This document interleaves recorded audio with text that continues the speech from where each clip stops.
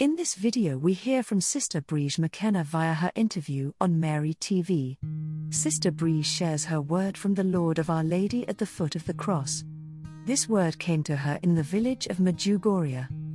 Sister Briege had a word from the Lord about Our Lady's love, her motherly love for each of us, and it explains beautifully how Our Lady can say that she loves all of us. Our Lady is the Queen of Prophets. I remember one day in prayer getting this insight that at the foot of Calvary, that up until that moment Mary was known as the mother of Jesus. She was the biological mother of Jesus. That's what the people knew her as. At the very moment when Jesus said to John, Behold your mother. I got a vision of Mary's heart just expanding, so that the same love that she had for Jesus as a mother, at that very moment, as a gift from the Father, she was given for each of us. I said to Father Kevin, I had a sense of the tremendous love of the mother, so that she wants to protect her children. She is absolutely desperate. The Father gave her this mission at the foot of the cross through Jesus to be the mother of all humanity. So it is only right that a mother will announce Prepare yourself, keep away from danger, let me show you the road. She is absolutely desperate the Father gave her this mission at the foot of the cross through Jesus to be the mother of all humanity.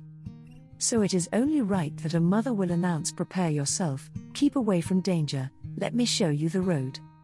Isn't this beautiful?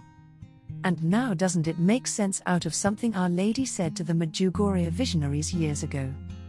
I love each one of you as much as I love my son, Jesus. She loves us with the God given love she received at the foot of the cross. It is a grace which cannot be understood except by faith. God has provided for us the love of Mary, as our mother.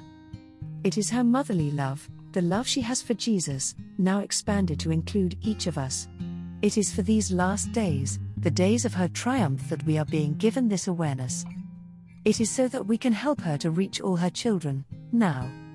Reach them with her love. She calls us so that we can extend her call to others. Sister Briege's vision is a powerful invitation to us. As we think about the crucifixion, and Our Lady under the cross, suffering with Jesus and her heart expanding with love for us at that moment, we can ask for the grace that our hearts might expand as well, expand to be able to accept Mary as our mother just as St. John the Evangelist did. We might ask for the grace to be her children, who love her as their true mother. Thank you for supporting my channel. Please like and subscribe. May God bless you and keep you. Our Lady, Queen of Peace, pray for us.